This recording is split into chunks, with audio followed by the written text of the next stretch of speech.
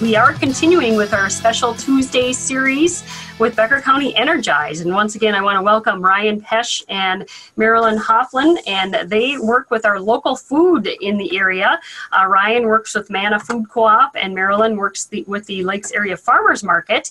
And they're going to talk about, uh, you know, Becker County Energize, their work with Becker County Energize, and why it's important to them uh, to work with Becker County Energize and the, uh, the great work they're doing in our community to make us a healthier community. So I want to welcome Ryan and Marilyn once again this morning to Hodgepodge. Good morning. Hey, we're back. You're back. Or maybe right. we weren't here to begin with. I don't know. oh, you were, but uh, oh, yeah, okay. something something kicked in for some reason, and it was just not good. So anyway, uh, let's talk a little bit about. Okay, so let's talk about uh, your work with with Manna, Ryan first, and uh, Becker County Energize, and then Marilyn, we'll get your input as well, uh, and how you started to work with Becker County Energize and the importance uh, of the work that you're doing. Go ahead, Ryan. Yeah, you know, I, I, I think the thing about Becker County Energize is about a whole bunch of different groups that are involved in some facet of healthier eating or healthier living or wellness in general. And so, and the whole idea behind Becker County Energize is kind of raise all boats or raise everybody's consciousness about you know how as a community do we just live live a healthier lifestyle? And so for us at Manna Food Co-op who are dedicated to you know local natural and organic foods and connecting local producers producing healthy foods together with local consumers i mean that's we we, we fit the bill where we fit right in there. Um, you couple with that some of the work that we do around wellness and healthier eating education. And it, it seems to be a, a great partnership with us, Becker County Energize, and the other people involved in it. So. Right. And uh, Marilyn, and your experience uh, with the Lakes Area Farmers Market is very similar uh, to Ryan's uh, and, uh, you know, just another venue uh, to bring food to the community. And what's been your experience? Well, thank you for having me. Um, I am a SNAP-Ed educator with the University of Minnesota. Um, SNAP is what many of us grew up calling food stamps. Um, so it's an important message to me to um, not only work with Becker County Energize with like minded people that want to improve those healthy lifestyles, but also the uh, likelihood that people would be able to access them people who might have limited resources, um, people of color, LGBT community, people with mental health challenges, or transportation uh, issues. So I'm seeing a real awareness of both resources and opportunities in the Becker County area. Um, and my personal mission is um, a couple of things. I've been working with the food shelf as they have, uh, you know, a hardworking bunch of people uh, working to try to figure out how to uh, safely distribute food during COVID, and they're doing a fantastic job. I'm seeing possibly a year or two down the road, um, they're going to be in need of additional volunteers and even a new home. Um, they will most likely see a move uh, needed in the next couple of years. And um, the uh, Lakes Area Farmers Market. So a few years ago, they reestablished um, the acceptance of SNAP. Uh, folks can use their EBT card uh, to double their money, basically. And many people do not understand that it's so important that we're not only um, uh, you know supporting those local foods, our local growers, but also the likelihood that our um, most uh, needy people in the community can use their EBT card to get market bucks. And what that is, is um, a family would, um, a SNAP family would use their EBT card up to $10 and they can double that. So that 10 becomes 20. They're able to use that for um, baked goods, local produce. If they have a garden, there's many um, bedding plants at this time of year uh, some canned goods, and just the most freshest, wholesome foods that, you know, during this time of COVID, we're all thinking about boosting our immunity and as well as stretching our food dollars. So, um, supporting our local farmers market. They're open Tuesday and Saturdays from 10 until 1.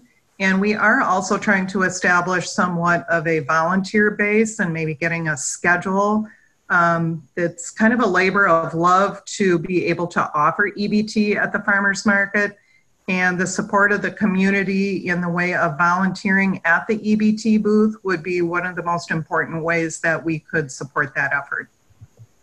All right, great. I'm on the line this morning with Marilyn Hofland and Ryan Pesch. Uh, they work with uh, our local food uh, in the area and connecting people, uh, no matter you know whether you are with the SNAP program, uh, whether you're making millions of dollars, you're connecting to local foods, and it's available to everybody. And you know, um, you know, just covering the farmers market and the opening of manna through the years it's it's kind of like the realization of people getting connected to real food and you know uh, the how that makes you feel much better than you know going down and getting a bag of chips because it's cheap and it's yeah. quick yeah I, I think that's right you know my my mantra constantly uh, for people in terms of like hey ryan you're this organic vegetable grower and stuff like I want to eat healthier, da da da da. My my two words are always whole foods, whole foods. It's like my mantra I'm always saying.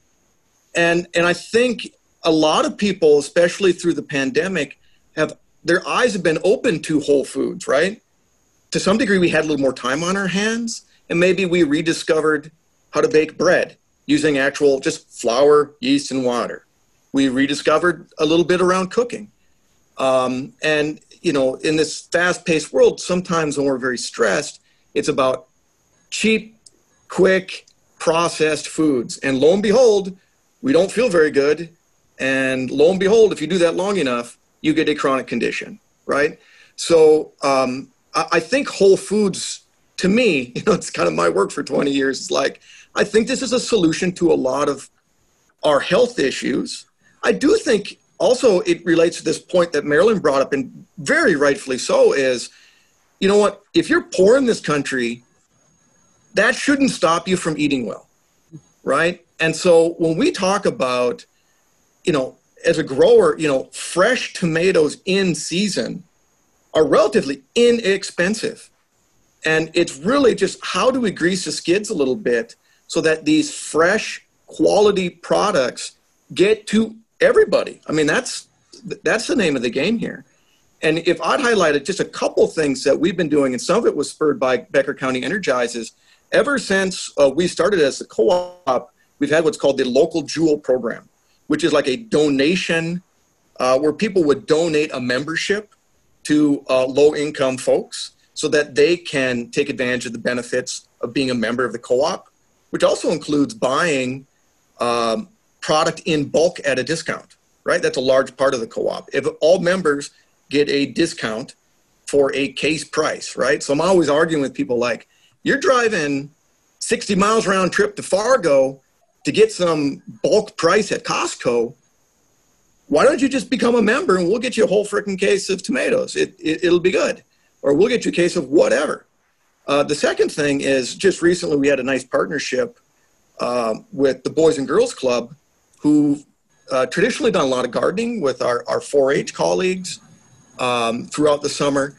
And, and this year, uh, Lee spearheaded an, an, initiative in terms of what they're calling Gardens to Go. And so right now we've had 75 families who, uh, who have kids engaged with the Boys and Girls Club. They're engaged in the Gardens to Go program. And, and uh, I arranged to raise some plants for them, some cherry tomatoes and some, uh, and some basil plants and I know Becker Pet and Garden, I think uh, local lumberyard, we all kind of engaged so that kids and their families can begin growing in a container situation as opposed to growing on site. So it seems like a nice partnership. Again, an example of a partnership of organizations interested in healthier eating, growing, and the like in our community, working together to, uh, you know, kind of for the good of the community.